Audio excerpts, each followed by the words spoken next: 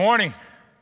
It's good to see everybody this morning. It's a beautiful morning, isn't it? Awesome, awesome morning. The anticipation of spring. Easter is two weeks away. Easter Sunday is two weeks away. I'm excited for Easter because we actually get to have in person Easter services this year, which is a little bit different than even last year. But there's an anticipation that is in the air. Uh, you can feel it when you come to church. You may be able to feel it when you get out into the community. There's an anticipation, uh, really, that I think is fostered by relationships. Relationships. Relationships are so important. Uh, before we jump into our scripture today, before we get into our one series today, I want to do something that's a little bit different. Uh, I want to give a round of applause for a couple people. Now, don't clap yet. Somebody was ready. I mean, I saw them. They're ready to go.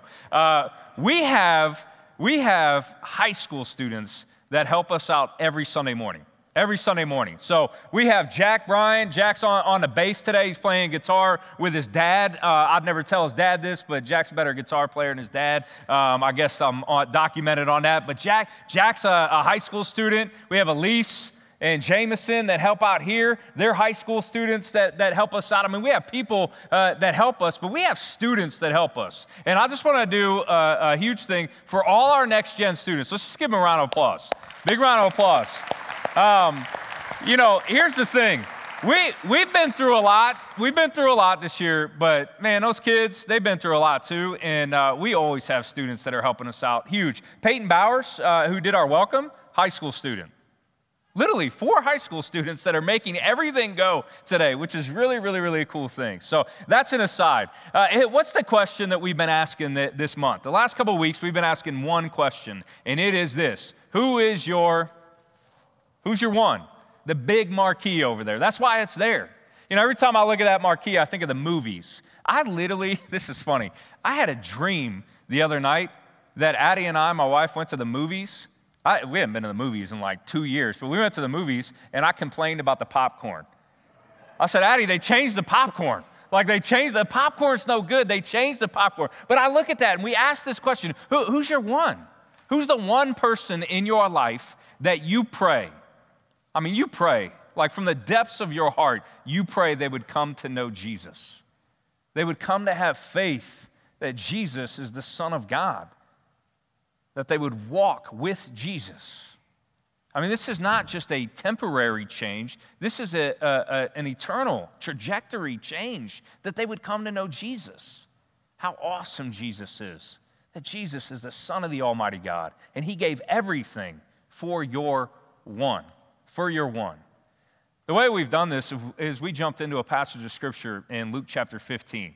So if you have a Bible with you this morning, jump into Luke chapter 15. Easiest way to do that, App Store, WC Church, bottom right hand corner, there's the Bible. You can take notes in the app. The app has everything that you need to know about what it means to be a part of this church and get involved. But we go there. Luke chapter 15. In, the, in week one of this series, we jumped into Luke chapter 15. The very first thing you see there, the parable of the lost sheep. Last week we did the parable of the lost coin. And today we're going to start a two part message on the parable of the lost son, or we may have heard of it as the prodigal son. It's a two, two-parter. We got a two-parter here. This week we're going to look at really the father in the parable and the lost son, the prodigal son. Next week we're going to look at the father yet again, but we're also going to look at the older brother because we really have three main characters in this parable. We have the father, who I would contend is the main character in this parable, even though it's entitled the prodigal son. He's our second character. And then the older brother, if you've ever read through this, the older brother is a main character within this story. The parable of the prodigal son is fascinating because it's one of Jesus' most famous stories, one of the most famous parables. It has been told across generations, it's been told across culture for the last 2,000 years. It's been retold it's been shared both in literature, on the screen, you name it. This is a phenomenal, phenomenal story. It's a teaching of Jesus. As we get started this morning, I, I want to show you something that, that I found uh, to be quite relevant a, a couple years ago. Uh, go ahead and show this, this image on the screen. This is an oil painting by Rembrandt that was done several hundred years ago. And this is a painting that depicts the return of the prodigal son. This oil painting, literally, it may be a little bit hard to see on the screen. If you're with us online, maybe you see this better on your television screen or on your device. It's a little bit hard to see, but it's that way because it's an oil painting. You know, it's old, it's an oil painting. But this sits on display at the Hermitage Museum in St. Petersburg, Russia. It's a Rembrandt painting. Now, they say a picture speaks a thousand words, so I want to do something totally different this morning. I literally want to take about 12 seconds and I just want us to look at this painting and think to yourself, okay, what do I see here? What are the details that I see here? What are the words that come out? Okay, so we're going to take 12 seconds. You're about to see how long 12 seconds really is, and we're just going to look at this. You ready? We'll do it together. Set, go.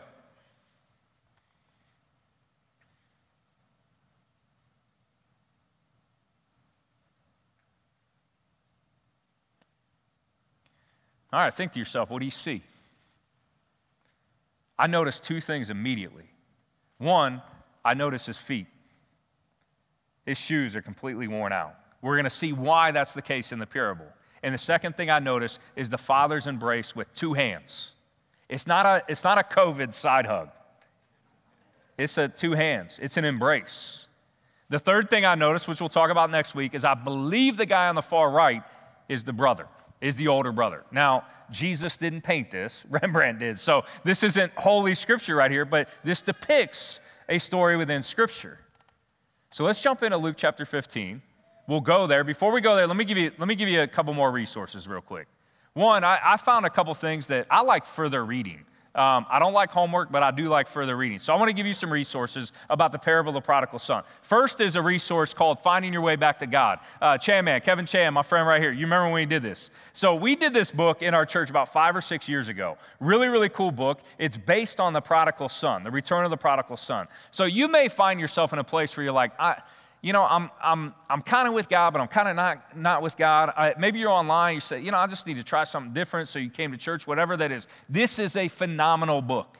Phenomenal book written by Dave and Jon Ferguson, some guys I know that planted a church in Chicago called Community Christian Church. If you are ever in Chicago on a Sunday, you need to go to Community Christian Church. They got like eight sites around the city. Phenomenal church. But they write a book about how we can find our way back to God. And they use the prodigal son as the scripture to really help that. Uh, about five or six years ago, I had a friend start a small group with this series in this church.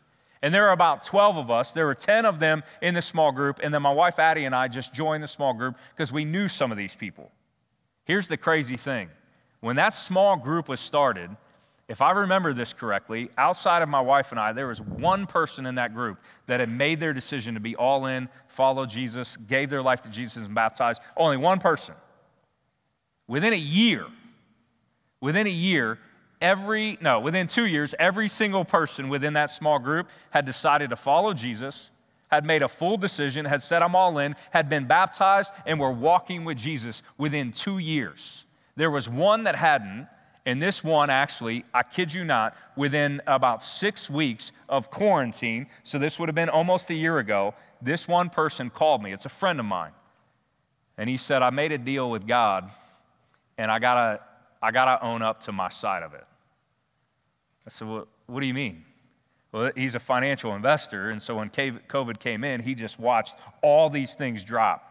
And he said, I panicked and I prayed to God. I said, God, if you see me through this, eh, no more excuses. I'm all in. And he goes, Jay, you wouldn't believe it. He saw me through it. So I'm all in. I kid you not, the next week we came in here. He gave his life to Christ. He was baptized. This is quarantine time. This is the only time this has happened. Dude baptized himself. I stood there, I had a mask, I was in the baptistry with him. I took his confession of faith. And he looked at me, he goes, So just like go down? I go, Just go down, man. And he went down, he baptized himself, and he looked at me and he smiled. And his family was out here, friends were out here, and he was like, This is awesome. This is awesome. Finding your way back to God. Maybe a resource for you.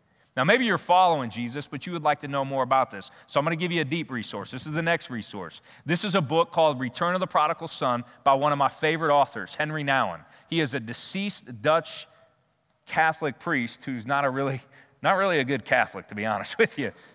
This is a phenomenal read. Deep, but phenomenal. Maybe those books are too deep for you, so I want to give you a third option. And that third option is, a, is this book. I really like Slop. This is uh, Chandler, our seven year old. She loves this book. Now, if you read The Parable of the Prodigal Son, you'll get this joke. I really like Slop. This is Piggie, and this is his friend Gerald the elephant, and Chandler loves these books. She literally read this book to me like three weeks ago, and I was like, I gotta bring this up in The Parable of the Prodigal Son. So let's jump into Luke 15. There's your resources. It's actually a good book. You should check it out. Uh, there's your resources. Luke 15, setting's the same.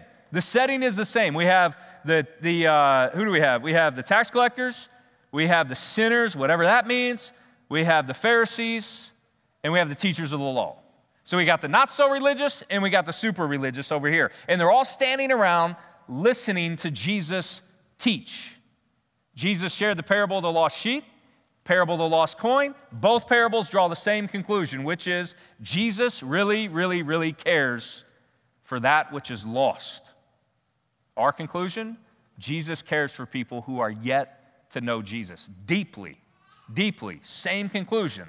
Jesus is going to share a third parable with them. This is the two parter the parable of the lost son or the prodigal son. How do we know that Jesus really cares for lost people? Because it's the heart of the gospel. You may not know any verses of Scripture, period, but I bet you've heard at least one. What do you think that one would be? John 3:16. For God so loved the world that he gave his one and only son, whoever believes in him shall not perish but have eternal life. Verse 17, God did not send his son into the world to what? To condemn the world, but to save the world through him. Jesus loves lost people. Let's jump in. Luke 15, verse 11. Jesus continued. Continued from what? From the other two parables.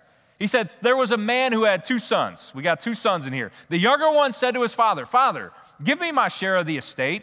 And so he divided the property between them. Now, this is, this is a cultural piece. First century Judaism, a son, if you had two sons, the older son would get two thirds of the father's estates, and the younger son would get one third of the father's estate. It was important to be born first, right?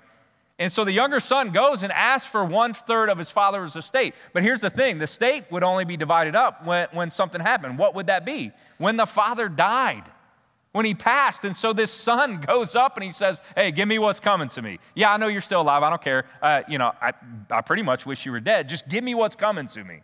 This is what happens. He goes on to say this.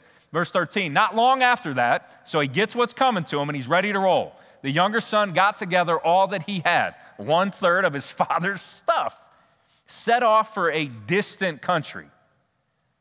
Not a neighboring country, not the next town, he was getting out of Dodge. He knew what he was going to do. And there, he squandered his wealth. It's not his wealth, it's actually his father's wealth in wild, sinful living. Verse 14 After he had spent everything, everything, there was a severe famine in that whole country. Guess what? He didn't expect that. He didn't expect a famine.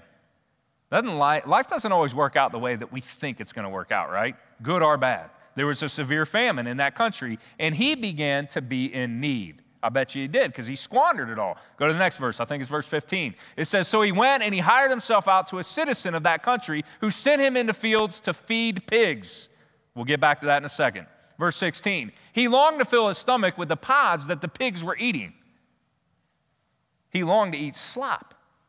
That's what he longed to do. But no one gave him anything. Yes, someone did give him something. His father gave him one third of his estate. And his father is probably wealthy in this parable. We'll see this here in a second as well. So he has nothing.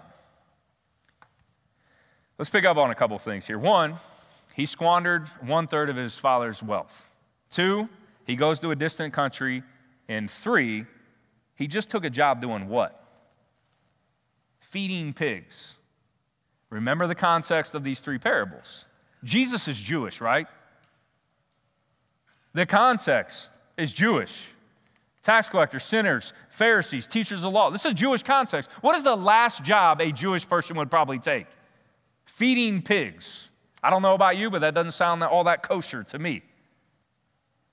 This guy is just taking a job feeding pigs. Feeding pigs. He's wallowing in pig slop. He doesn't have enough food to eat. I bet you when he's there, he's thinking to himself, this is not how I thought this was going to go. Usually, sin doesn't go the way that we think it's going to go. Usually, when we walk away from God, when we walk away from the Father, it doesn't go the way that we think it's going to go. We think we got a good idea, we think we know what we're doing. But sin, sin takes us further than we want to go, and it usually keeps us longer than we want to stay. That's what's happening here. And so he sits there and he thinks to himself, okay, I, I, I, maybe I better do something about this. So let's roll on to the next verse. I believe it's verse 17. He says this When he came to his senses, well, starvation will do that to you, right? When he came to his senses, he said, How many of my father's hired men? His father has hired men, so his father's probably got some money. How many of them have food to spare? And here I am starving to death. Here's what I'm going to do, verse 18. I'm going to set out and I'm going to go back to my father, back to my father, and I'm going to say to him this Father, I have sinned against heaven, against God, and against you. I know that I'm no longer worthy to be called your son because of what I've done. Because I essentially looked at you and said, Dad, I don't care if you're dead or alive. Get what's coming to me. Give me what's coming to me because I'm going to go waste it on how I think life should be lived. He said, I'm not worthy to be called your son, but would you do this for me? Would you just make me like one of your hired men? What is he doing? What is the younger son doing? Right here, right now, he is deciding, he is deciding to go back to his father. I think it's safe to say that he's hit rock bottom, right? He's hit rock bottom. He said, okay, this is what I'm going to do. I'm going to go back to my father, and maybe, perhaps maybe my father will forgive me. I'm going to ask for forgiveness. And I know I've done too much to be welcomed back as a son, but maybe he'll just hire me out so I have food in my stomach and maybe somewhat of a roof over my head because it ain't going to work over here in this distant country. When we look at the parable of the prodigal son, there's three characters, and we're going to see three perspectives. The perspective of the father, which I think is the most important, the perspective of the prodigal son, the lost son, and then the perspective of the older, older brother, which we'll see next week. But the son is at rock bottom. He said, I'm just going to go back and see if he'll welcome me back. Here's the thing we've all actually been here before. We have. Now, maybe our story wasn't this bad. Maybe our story was worse. But think about this. We've all actually looked God the Father in the face, in the face, and said, I, I may or may not, but for a lot of us, I understand that this is what you want, God, but this is what this, I, I see that, but this is what I want to do. Thank you. And I'm going the other way. We've all done this. What's it called? Sin. Literally to miss the mark. We've done this. And here's the thing when, when, when we do this, we do intentionally turn our back to God. Now, some of our stories aren't as bad as this. Some of our stories are even worse than this. But here's the thing the story, the parable of the prodigal son, teaches us, yes, about the two boys, but more importantly, about the father. And so we're going to see what the father does. Comes to his senses, he's going to come back, and he is going to experience God's grace. God's grace. You see, as we do life with our one, as we do life with our one, as we relate to our family, our friends, our neighbors, whoever it is, people in our community that are yet to know Jesus, please understand this. They do not need God's judgment. Please hear this. I'm going to get worked up here. I'm going to take a breath. They don't need God's judgment. What they're looking for is God's grace, whether they know it or not. They're looking for God's grace. If you are a follower of Jesus, please hear me on this. Perhaps you've experienced this the way that I've experienced this. The closer I get to Jesus, the more I realize how much of God's grace I actually need. My friends and my family and my neighbors who are yet to know Jesus, they don't need God's judgment and they definitely don't need my judgment. They, they need to see God's grace. They need to see Jesus, the perfect extension of God's grace. And he's asked me as his follower to, to live a life that extends that grace. And yes, I know there's things in, in life and in the world and in your neighborhood and in the schools and everything that, like that, that that are off. I know that. I know that. I know there's things in legislation that make us tingle. I know that. It's extension of grace. And we do that day by day, minute by minute, as we do life with people who are yet to know Jesus, especially those that we have a relationship with. I need God's grace, and my friends need God's grace. I just need to be careful when I, I want to sit on the seat of God's judgment. I need to be careful there because I'm not worthy to sit there. So I ask myself do I extend God's grace or do I extend God's misplaced judgment that I think needs to come through me? I can't get on a soapbox here, so let's roll. Next verse. Verse 20. So he got up and he went to his father. But while he was still a long way off, he's made his decision. He's come to his senses. And so he gets up, he goes to his father. Look what happens. While he was still a long way off, his father saw him and was filled with compassion for him. He ran to his son and he slapped his son. He didn't do that. No, he threw his arms around his son and he kissed him. Look at what happens here. This is why I say the father is the main character in this parable. It says when he was still a long way off. That's what Jesus says while he was still a long way off. So we conclude a couple things here. We can conclude. One, the father is looking for him. He's looking for him. He's out on the front stoop and he's looking across his land to see if maybe his son has, has come to his senses and he's looking for him. And then when he sees him, what does he do? He's filled with compassion and he runs for him. When he comes to him, he embraces him. That's why I love the, the Rembrandt painting. He embraces him and he welcomes him back as a son. You see, this is, this is why we use the phrase, my friends who are yet to know Jesus. I am beyond convinced that when my friends, when my family, when the people that I love, when the people that, that I do life with that are yet to know Jesus, when they come to realize that God sees them, that God is looking for them, not in a judgmental way, in a loving way, that He will have compassion for them and He will embrace them, I'm convinced that they won't be able to help but to come to know Jesus. They have never experienced anything in their life like what it means to have a relationship with Jesus that comes through grace, that comes through grace. And this is what happens. The Father shows us this. He says this, the, the last couple verses here, verse 21. The Son said to his Father, I've sinned against heaven and I've sinned against you. I'm no longer worthy to be called your Son. Look at what the Father does. He's the extension of our Father God. It says, But the Father said to his servants, Quick, quick, bring the best robe. You don't put your best robe on the worker. You put the best robe on your son, right? He welcomes him back as a son and put it on him. Put a ring on his fingers and sandals on his feet. Why? Look at what happens here.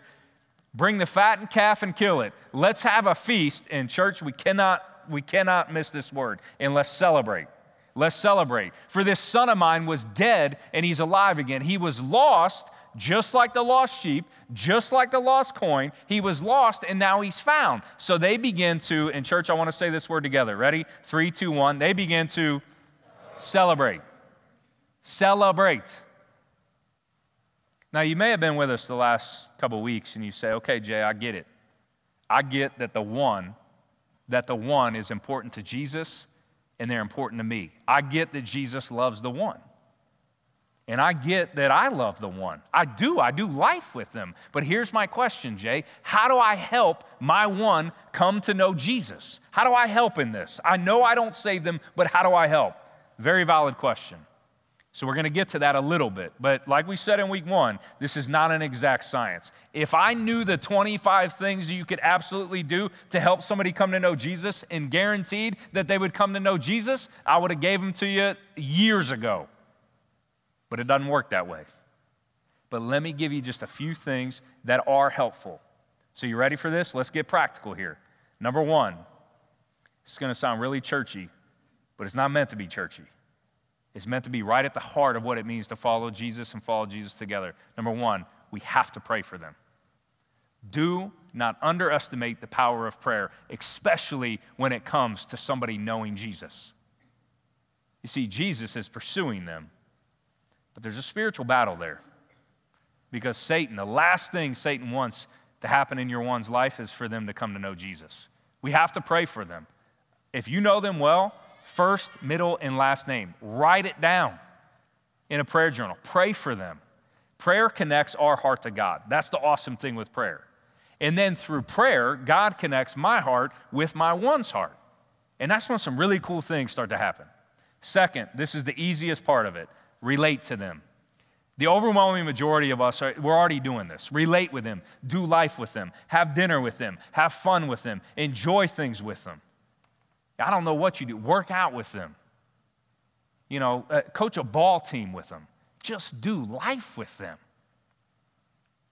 You know, for some of us that have been following Jesus for a long time, you may ask yourself this question Am I doing life with anybody who is yet to know Jesus?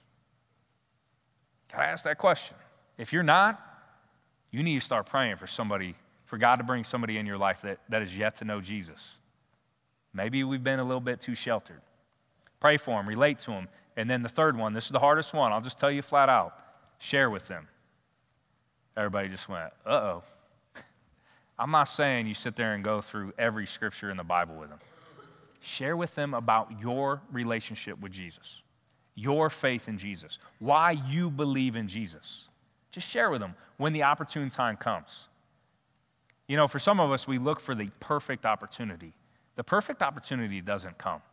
Here's why because when you get knee to knee with somebody, you know, over a Friday night dinner or hanging out or something like that, when you get knee to knee with somebody who's yet to know Jesus, and you think, hey, I, I, I, maybe I should tell them about Jesus, you're going to get nervous. Believe me, you're going to get nervous. It's okay. It's not the perfect opportunity, it's just an opportunity. Share with them about why you have hope and faith in Jesus. And don't worry about not having all the questions to all the answers because you're not going to. There was one person that had all the answers to all the questions, and guess what? We're not him. We're not him. And then finally, when they take steps towards Jesus, or when they come to know Jesus, we have to celebrate. Church, we have to celebrate. We have to celebrate that. Everybody starts somewhere. I had a really good friend of mine, shared this early in the series, that, that came to know Jesus, I know, a few weeks ago, you know, a month or so ago. And, and my friend had no faith background whatsoever. He didn't grow up going to church. He didn't grow up going to his grandma's church, to his parents' church, no church. He said Sundays, we were either skiing when it was cold or golfing when it was, when it was warm. And he came to know Jesus. Why? Because friends of his who already knew Jesus invested into his journey with Jesus.